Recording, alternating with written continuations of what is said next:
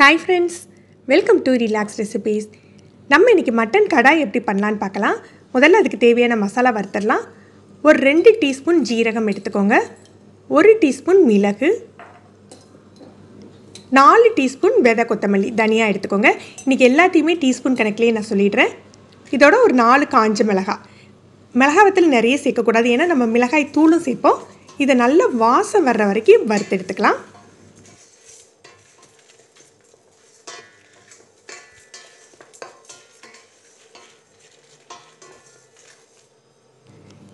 இதை நல்ல நைஸாக பவுடர் பண்ணி எடுத்து வச்சுக்கணும்.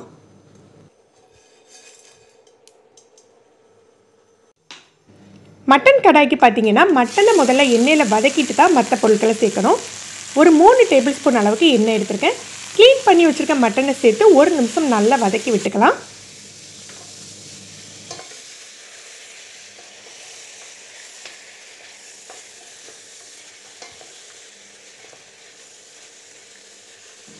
நான் இன்றைக்கி எடுத்திருக்க மட்டன் அளவு பார்த்தீங்கன்னா முக்கால் கிலோ போல் எடுத்திருக்கேன். இதில் ஒரு அரை டீஸ்பூன் மஞ்சள் தூள் மூணு டீஸ்பூன் இஞ்சி பூண்டு விழுது சேர்த்துக்கலாம். இது எண்ணெயில் நல்லா புரட்டி விட்டுறணும். அந்த இஞ்சி பூண்டோட பச்சை வாடை போய் நல்லா வாசம் வர ஆரம்பிக்கும்.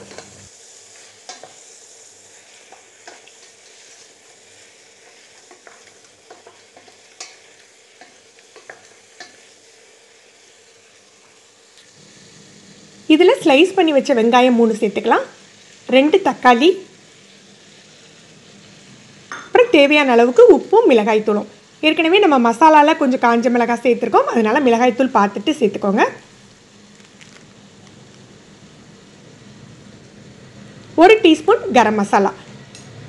நீங்கள் ம மட்டனுக்கு எந்த மசாலா யூஸ் பண்ணுவீங்களோ அதை சேர்த்துக்கோங்க. இதை நல்லா புரட்டிட்டு லோ ஃப்ளேமில் ஒரு அஞ்சு நிமிஷம் மூடி போட்டு வச்சிடணும்.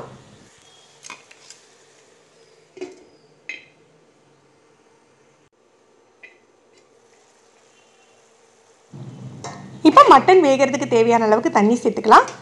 மட்டன் கடாய்க்கு மட்டனை பாத்திரத்திலேயே தாங்க வேக வைப்பாங்க. அப்படி வேக வைக்கிறதா இருந்தால் அரை மணிலேருந்து முக்கால் மணி நேரம் வரைக்கும் வேக வச்சுக்கோங்க. இல்லை ப்ரெஷர் குக்கரில் வேக வைப்பீங்க அப்படின்னா ஒரு பன்னெண்டு நிமிஷம் வரைக்கும் மீடியம் ஃப்ளேமில் குக் பண்ணி எடுத்துக்கலாம். மட்டனை முழுசாக குக் பண்ணணும்னு இல்லை ஏன்னா நம்ம மசாலா சேர்த்து அதுக்கப்புறமும் கொஞ்சம் நேரம் அடுப்பில் வச்சு குக் பண்ணுவோம்.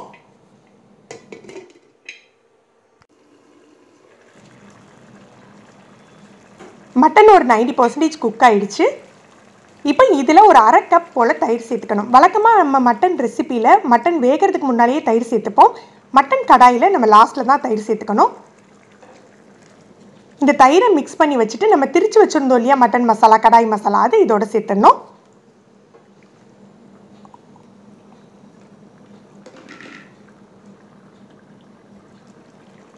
இதை சேர்த்துட்டு உங்களுக்கு உப்பு காரம் செக் பண்ணி பார்த்துக்கோங்க. உப்பு காரம் தேவைப்பட்டால் சேர்த்துக்கலாம்.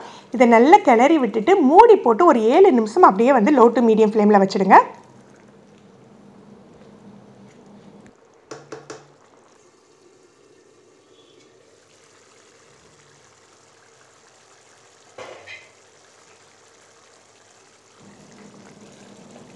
மட்டன் கடாய் எண்ணெயெல்லாம் பிரிஞ்சு நல்லா செட் ஆகிட்டுங்க இது சப்பாத்தி ரொட்டி ரைஸ் எல்லாத்துக்குமே சூப்பராக இருக்கும்.